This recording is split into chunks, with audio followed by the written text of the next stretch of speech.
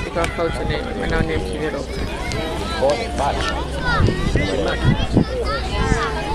Eh ma perché per arrivare là un attimo